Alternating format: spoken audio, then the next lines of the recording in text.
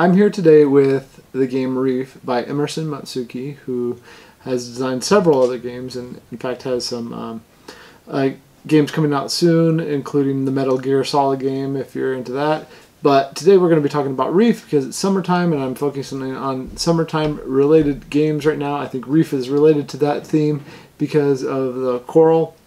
So we'll take a look at how to play the game and then we'll go over my final thoughts on why I like it or don't, what I do or do not like about it. So let's go ahead and dive in, take a look at the game Reef, and then we'll come back at the end and talk about final thoughts.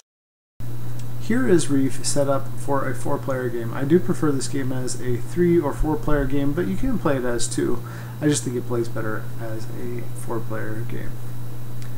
In our current example, we use all of the pieces, so we have those separated out. In a smaller game, you're not going to use all 28 pieces. You're going to set aside uh, 4 in the 3-player game so that you only use 24, and um, 10 in the 2-player game so that you only use 18.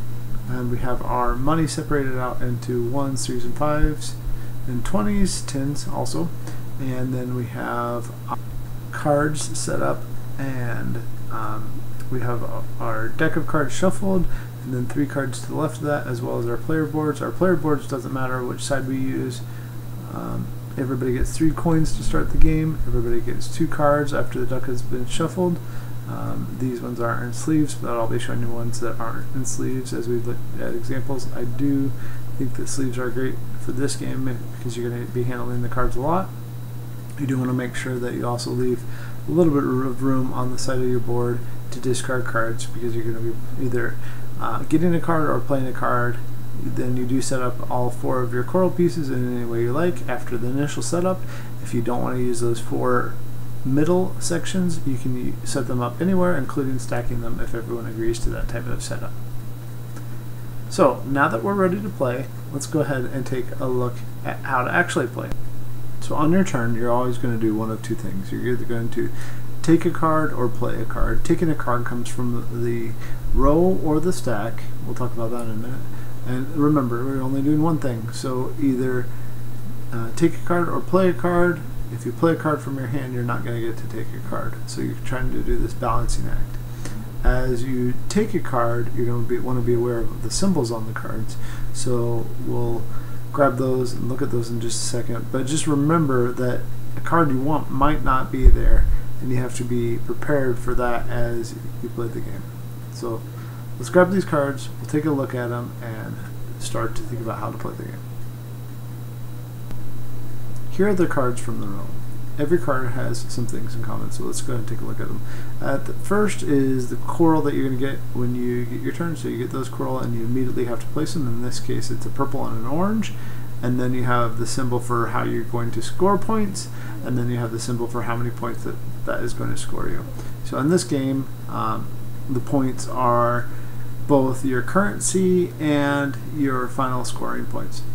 In the case of this card, we see that it scores one point for every two um, tall coral that we have on the board. So we can place the coral we'd immediately score two points. So two times one would be uh, two points that I could score just getting that card and playing it, or if I have a bunch of twos, then I could score even more from this card. It's a decent starting card. Um, that simple just means wild. So we're going to put those back down and take a look at some different cards.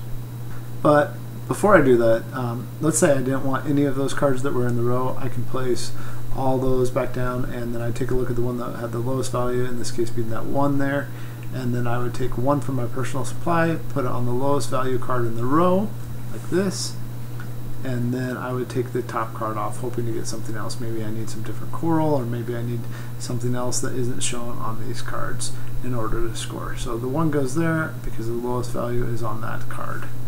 And as you can see later on, somebody, if they pick up that card, then they get the one point.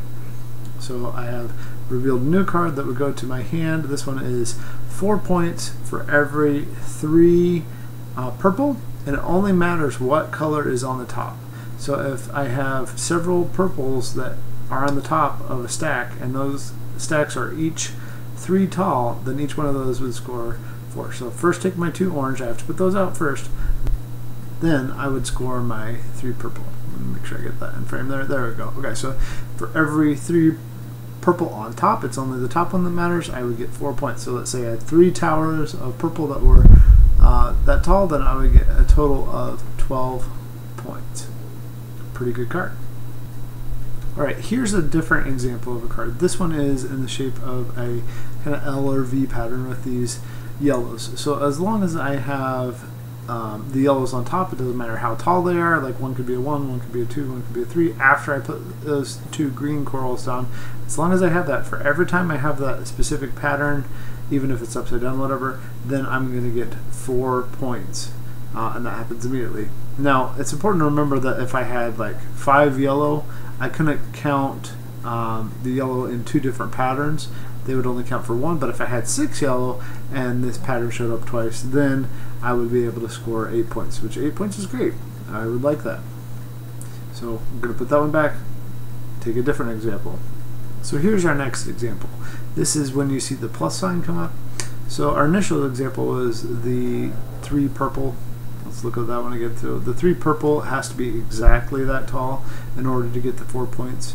But with uh, plus sign, so if there's a plus sign next to it, then I can score differently. So with a plus sign here, the 2 plus yellow and the 2 plus orange, for every one like this catty corner or diagonal that has that together, they can be 2 or taller on either one, orange or the yellow then I will get five points. So it could either be like that for a single one, or maybe let's say I had another one where they fit together uh, diagonally from one another, then I could score another one in 10, which is even better than 8, which is great. Here's another really simple way to score some points. So in this case, it's for every orange, and that's why it's uh, saying count the oranges around your tallest green. So I might get a total of eight of these oranges around my tallest green. For every orange around that, I'm going to get it two points. So in this case, that would be a total, if I got every one of those, 16 points. That's hard to do, but it would be fun. Now we've finished going over how to play the game. So the game ends when somebody uh, gets to end and one of the piles of coral runs out. You get to finish the current round. Everybody after the person who does that gets to take a turn. So if the first player runs out, great. Everybody else gets a turn. If not, then only the person after them gets to take a turn. Um, one thing that I always forget is that if you have any cards left in your hand, you can score those points for those patterns, but you only get to score them um, once. You don't get to score them multiple times like you normally would, but it does allow you to um, score those cards that you may have been storing up to score in a, certain way. Also, the game could end if anybody uh, takes the last card in the deck, that game would end immediately. So once that's done, everybody compares highest scores.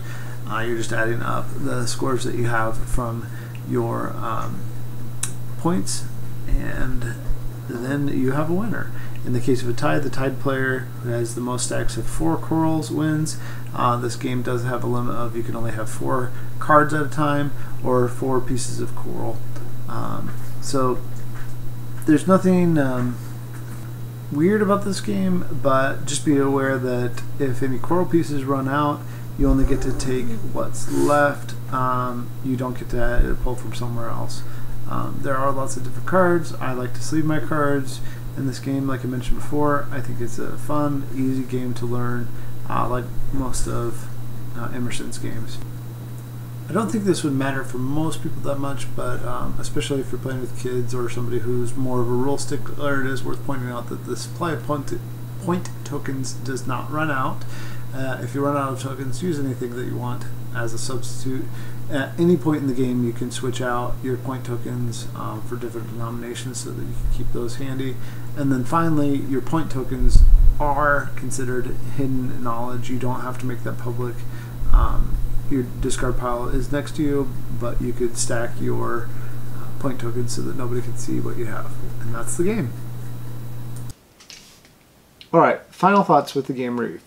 Um, so, some games you want to bling out and put nice components on. I could, I guess, see that if you really, really like Emerson Matsuuchi, but with this particular one, I don't think that you need to do that. The cardboard um, bits that come with the game are fine for the uh, ones, fives, threes, tens, and um, 20s, but um, I do really like the chunky plastic bits that come with the game so that you stack up your reef. I like that. There's just something fun about the tactile experience that you have when you're playing the game. Um, there were no print problems. I like the player boards.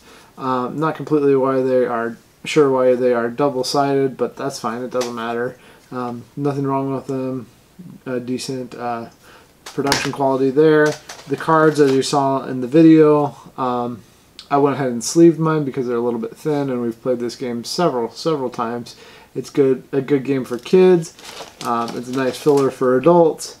Uh, Reef is something that I never feel bad about recommending. I think it's a decent buy.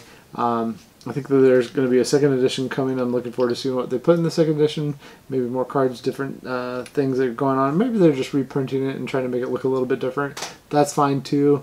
Uh, either way, I think Reef is a solid choice for families and those looking for a nice filler with that marketplace uh, mechanic. It's easy, like uh, along the lines of like Century Spice or Splendor, something like that. So if those are your kind of thing, you enjoy those types of games, or you need something like that in your collection, um, then I would recommend Reef. Thanks. We'll see you later.